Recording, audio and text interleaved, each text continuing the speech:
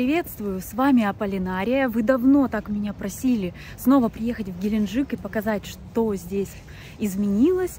И вот, наконец-то, я выбралась. Давайте прогуляемся, посмотрим, какая тут царит волшебная атмосфера.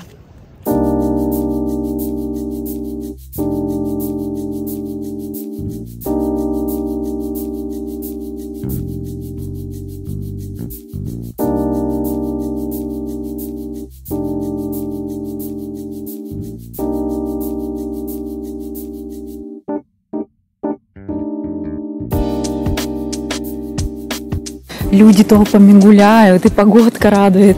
Смотрите, все зелено, как и летом. Единственное, что люди в курточках и в шапочках.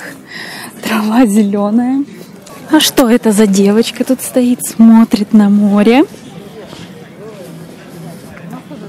Как вы думаете, кто это? Это Ассоль. Вот она. Как вот приехать из Феодосии в Геленджик и, пожалуйста, и здесь Ассоль любуется той вон стороной бухты Геленджика. Ох, и застроился город, конечно, высотных зданий здесь так много. Набережная здесь огромная. Целых 14 километров. Она обрамляет полностью всю Геленджикскую бухту от толстого до тонкого мыса. Ой, вот это мне нравится надпись в горах Геленджик, как будто бы Голливуд, но здесь круче. Полюбуйтесь на эти зеленые просторы, как все сочно, насыщенно. Такие яркие краски. Совсем нет здесь никакой серой, унылой погоды, несмотря даже вот сегодня же пасмурно. Для детей тут вот горки, качели стильные. Прогуляемся по сосновой аллее. Вот это тут аромат, тут сосны там море. Какая польза от такой прогулки? Необычные такие скамейки белоснежные. Не похожи на скамейку даже. Урночки все в едином стиле. Вообще все кругом выполнено в едином стиле. Это настолько красивый, аккуратный создается ансамбль. Просто глаз радуется невероятно. А, видите, в порядок приводят, моют, чтобы были белоснежные ограждения прямо сейчас. О, там какие-то акулы. Здесь вообще много в Геленджике, я обратила внимание, фонтанов, скульптур. У кого есть фотография отсюда, признавайтесь. Вот не знаю, я когда шубу надеваю в Крыму, например, 0 или 2 градуса, вы мне пишете, в шубе зимой в Крыму, так вот, плюс 12. В Геленджике тоже ходит, потому что нам, южанам, тоже хочется шубку выгулять. Ну и что, что тепло. В Геленджике же в основном галечные пляжи, а вот тут какой-то привозной песочек. Даже зимой все выглядит так аккуратно. Вся пляжная зона. Это у нас, кстати, Лермонтовский бульвар. А это памятник почетному гражданину Геленджика Кисель Евгении Корнеевичу. Он летчик гражданской авиации и сделал большой вклад значительный в современный облик родного города. Мне нравится все разграничено на пешеходную зону и на велодорожке, чтоб никто ни с кем не сталкивался. Спокойствие и умиротворение в Геленджике. И так до нового курортного сезона. А здесь фонтан нарядили во всякие гирлянды. Как зажжется, будет красота. Так каждый вечер. А здесь у нас я люблю Геленджик. Памятник Лермонтову в конце бульвара Лермонтова. Ой, я стою на дорожке для велосипедистов, надо срочно отойти. О, ростовые куклы уже тут ко мне подбегали девушка, а мы к вам бежим. Я такая, не надо, меня жеребец уже кусал. Какой жеребец, где? Я говорю, в Ялте. Они просто подходят, вот эти кони, открывают голову, пасть лошадиную и на голову надевают. Люди берут кофе с собой, и на набережной такой кофейный вкусный аромат витает. Привет! За мной все бегают жеребцы по Геленджику хуже, чем в Ялте. Причем что днем. В Ялте-то хоть они там попозже появляются, либо летом. Вот длинный причал, морские прогулочки. Куда же без них? Эх, Геленджик, какой приятный город. Как здесь нравится находиться и гулять. Ух, наконец-то выбралась так. Это неожиданно. В принципе, было не по плану. Я же думала в теплое время года приехать. Но и сейчас здесь тоже очень здорово. Все-таки прям вот ощущаешь, что это круглогодичный курорт. Здесь вот весело, много народа на набережной. Это не какие-то небольшие поселочки, где жизнь замирает. Здесь она не замирает. Даже зимой похоже. А здесь восседает доктор Сульжинский, основатель курортного дела Геленджика. И тут же аллея звезд. Аркадий Арканов. Тут скульптура турист с фотоаппаратом, в шортах, с рюкзаком. А напротив старые фотографии Геленджика. И вот так вот я подхожу. Гостиница «Центральные номера». Геленджик начала 20 века. И смотрю, и насколько архитектура напоминает Ялту, набережную. Вот так на юге у нас был единый ансамбль. Раньше, сейчас, конечно, немного все отличается. Особняк Фирсовой, тонкий мыс, начала 20 века. Вот два берега, это два мыса. Вот это мыс тонкий, а с той стороны бухты мыс толстый. И вот отдыхающие всегда думают, где же лучше остановиться. Но все-таки я почитала, разобралась, что лучше бронировать жилье на мысе Толстый, потому что там километры благоустроенных пляжей, вход в воду очень удобный, не требующий специальной обуви, особенно ну, для детей подходящий, а на тонком мысе там и э, пляжи приводят э, в порядок уже где-то там к середине июня только, отдыхающие туда добираются попозже, и каменистый вход в море. Геленджик торговый центр на набережной находится.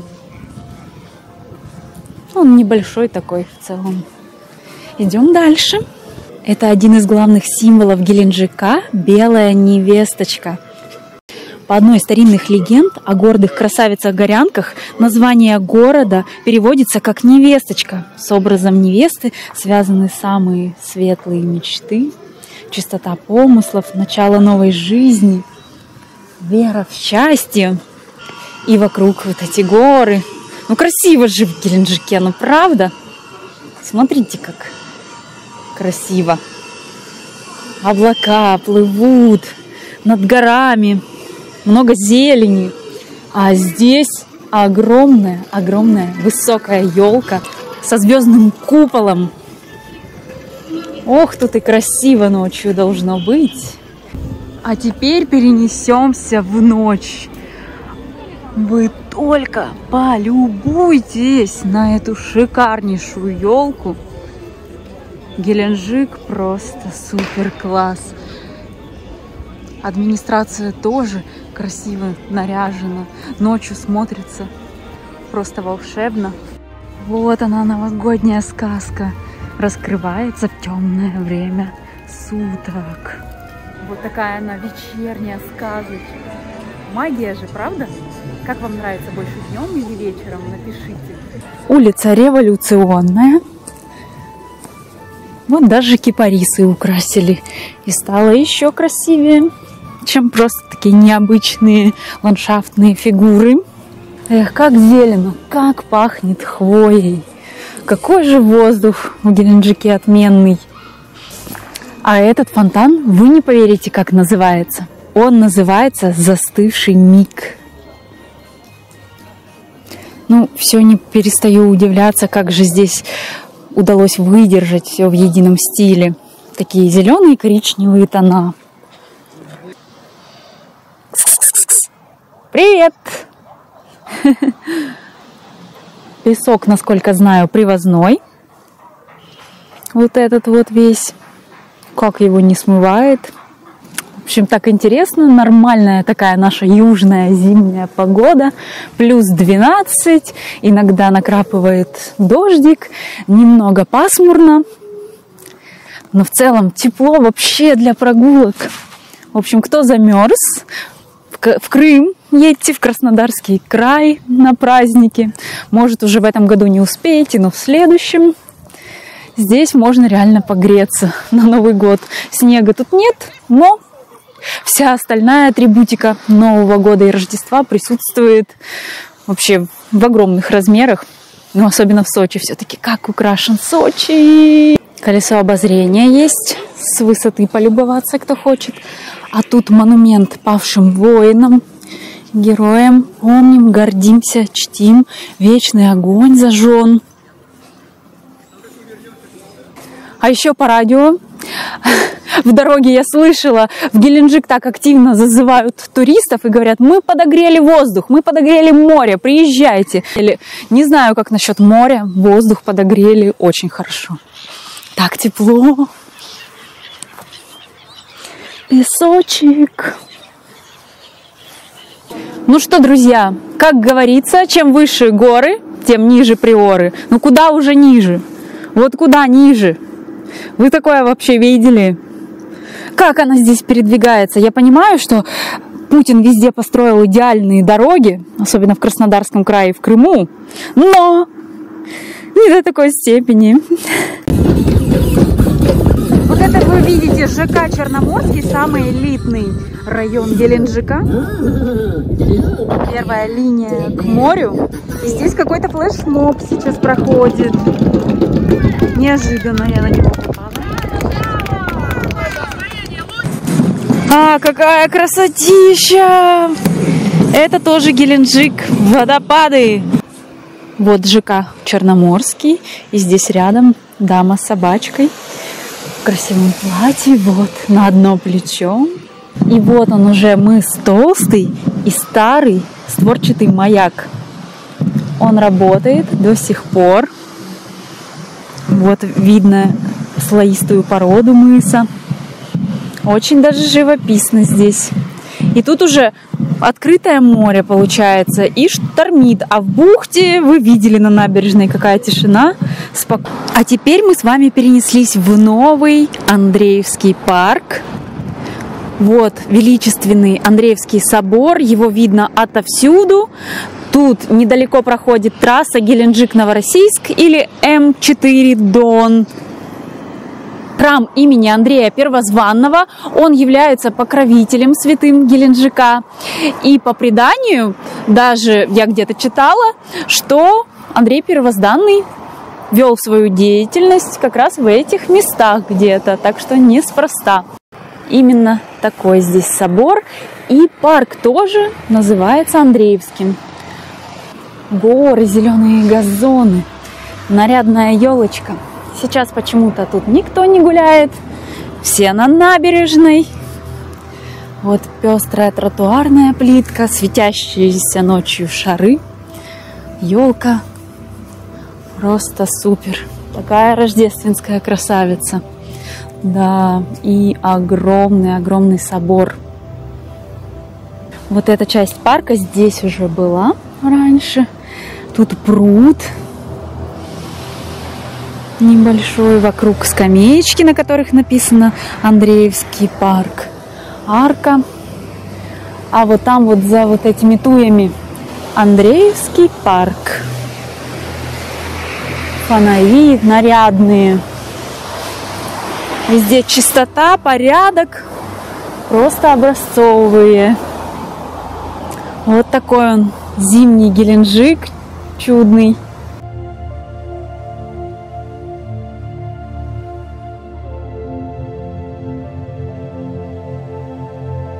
Даже и не верится, что раньше здесь был пустырь, а теперь такое место. А вот и сам апостол Андрей, один из учеников Христа. За ним детская площадка. Вот покровитель Геленджика. Зона для детей, беседки. лазалки, горки, качельки. Все как везде. И все это под сосенками. Бурная такая тут река. Решение построить храм приняли в 2013 году, а в 2014 заложили первый камень в основании. И буквально в прошлом году открылся храм, мне сказали. А тут сквер 80-летия со дня образования Краснодарского края и 225 лет начала освоения казаками кубанских земель. Кстати, вот этот мостик был построен еще э, в 19 веке. Его обнаружили в 2017 году и реконструировали. Раньше это было частью водовода. Был частью водовода именно для цементного завода. А теперь вот тут приходят любящие сердца и скрепляют свои чувства замочками.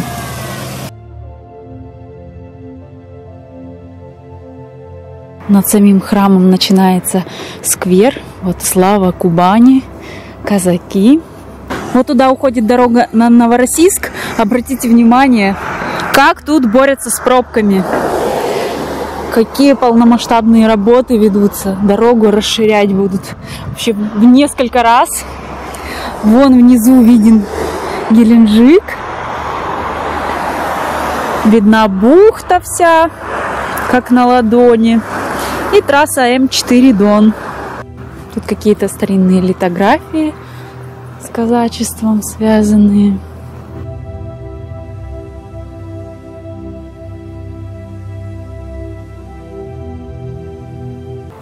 Триумфальная арка.